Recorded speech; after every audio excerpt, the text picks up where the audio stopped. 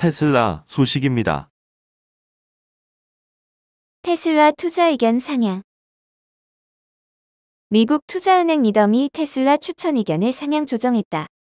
배런스에 따르면 니덤은 14일 밤 이례적인 조처에 나섰다. 밤중에 테슬라 추천 의견을 매도해서 보유로 상향 조정한 것이다. 블룸버그에 따르면 니덤에서 2008년부터 지금까지 14년간 테슬라를 담당한 책임 애널리스트는 라즈빈드라 길이었다.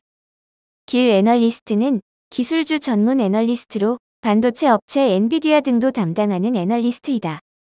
길은 테슬라 비관론자다.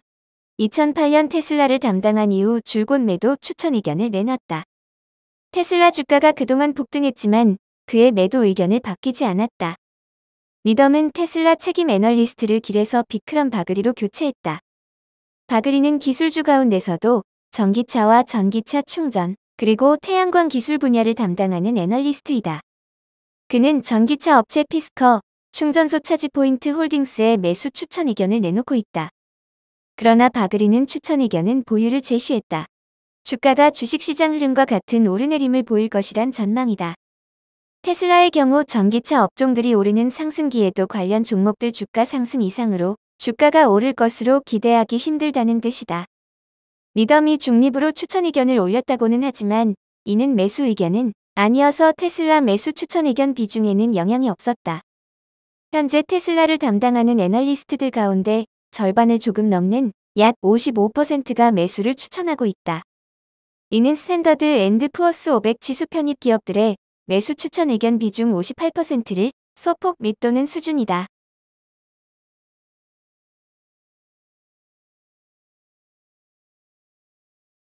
애플 소식입니다. 아이폰 위성통신 기능 다른 국가에도 곧 제공.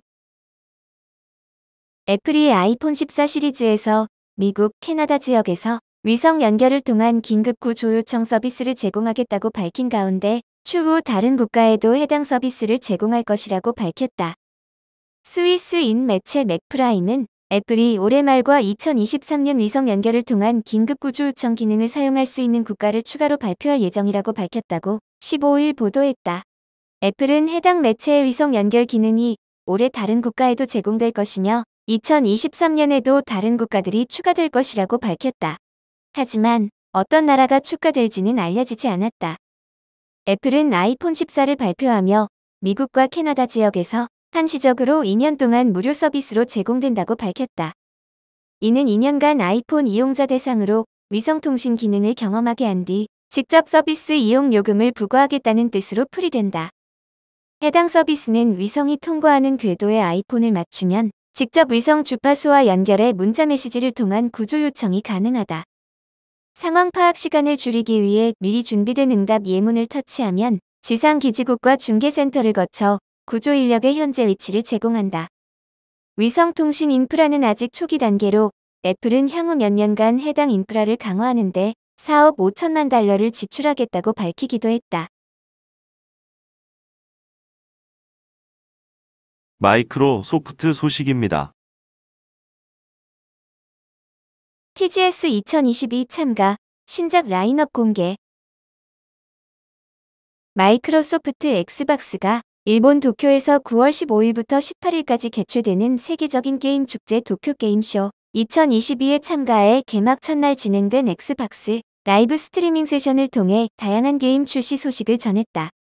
이날 엑스박스는 엑스박스 스튜디오, 베데스다 및 파트너 개발사의 게임 22개에 대한 소식을 공유했으며 다가오는 10월 열리는 포르자 호라이즌의 10주년 행사를 예고했다. 또한 그동안 여러 상을 수상하며 저력을 과시한 데스루프가 드디어 9월 20일 엑스박스 게임 패스로 찾아온다는 반가운 소식을 전해 게이머들의 기대감을 불러모았다. 아울러 앞으로 아시아 크리에이터들의 타이틀을 보다 많이 소개하겠다는 계획도 공유했다.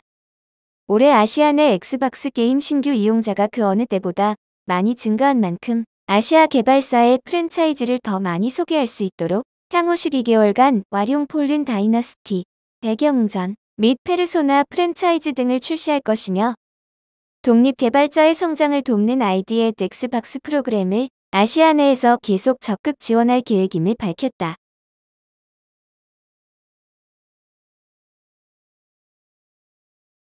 아마존 소식입니다. 비용 절감 나선 아마존 물류 창고 대폭 줄였다. 세계 최대 전자상거래 업체인 아마존이 세계 각국 물류 창고를 줄이고 있다. 경기 침체 우려가 커지자 비용 절감에 나섰다는 분석이다. CNBC는 물류 배송 컨설팅 기업인 NWPV의 인터내셔널의 자료를 인용해 아마존이 이번 주 들어서만 44개 물류 창고의 문을 닫거나 개장을 취소했다고 14일 보도했다. 25개 시설에 대해서는 당초 개장하려던 계획을 무기한 연기했다. 아마존은 코로나19 여파로 온라인 주문이 폭증하자 물류 창고를 대폭 늘렸다.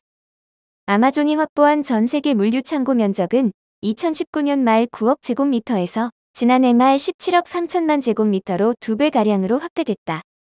하지만 올 들어 미국 중앙은행의 금리 인상 등으로 인해 경기 침체 전망이 계속되자 아마존은 물류 창고 처분 등 몸집 줄이기에 나섰다.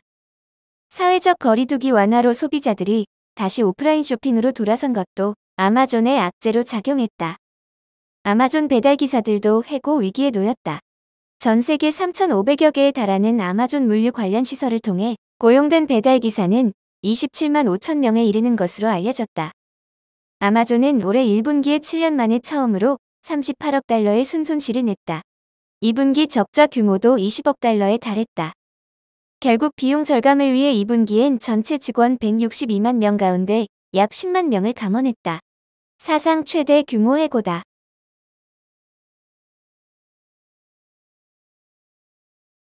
구글 소식입니다.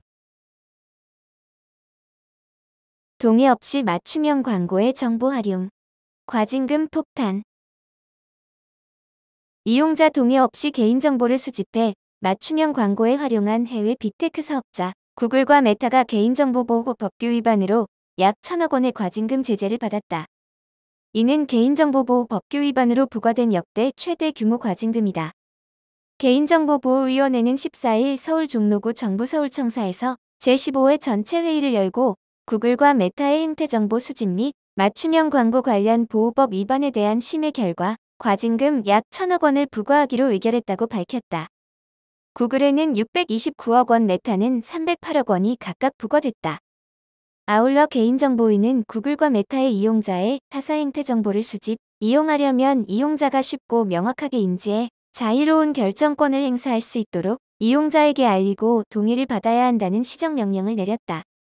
이번 조사 및 처분은 온라인 맞춤형 광고 플랫폼의 행태정보 수집 이용과 관련된 첫 번째 제재다. 개인정보보호 법규 위반으로는 가장 큰 규모의 과징금이다. 개인정보위는 언론 보도, 국정감사 지적 등을 계기로 한국인터넷진흥원의 지원을 받아 지난해 2월부터 국내의 주요 온라인 맞춤형 광고 플랫폼의 행태정보 수집 이용 실태를 점검해왔다. 특히 플랫폼이 이용자가 다른 웹사이트 및 앱을 방문 사용한 행태정보를 수집해 맞춤형 광고 등에 활용하는 과정에서 적법한 동의를 받았는지 여부를 중점 조사했다. 조사 결과 구글과 메타는 자사 서비스 이용자의 타사 행태 정보를 수집, 분석해 이용자의 관심사를 추론하거나 맞춤형 광고 등에 사용하면서 그 사실을 이용자에게 명확히 알리지 않고 사전에 동의도 받지 않은 것으로 확인됐다.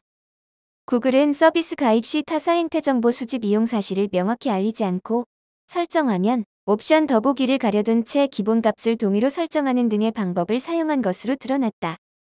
메타는 계정 생성 시 동의 받을 내용을 이용자가 알아보기 쉽지 않은 형태로 데이터 정책 전문에 게재하고 법정 고지 사항의 구체적인 내용을 이용자에게 알리거나 동의를 받지 않았다.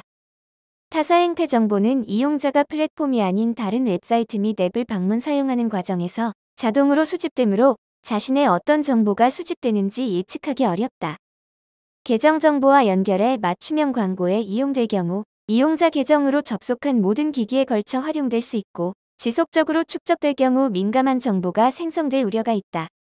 실제 조사 결과 구글은 82%, 메타는 98% 이상의 한국 이용자가 플랫폼의 타사 행태 정보 수집을 허용하도록 설정하고 있다.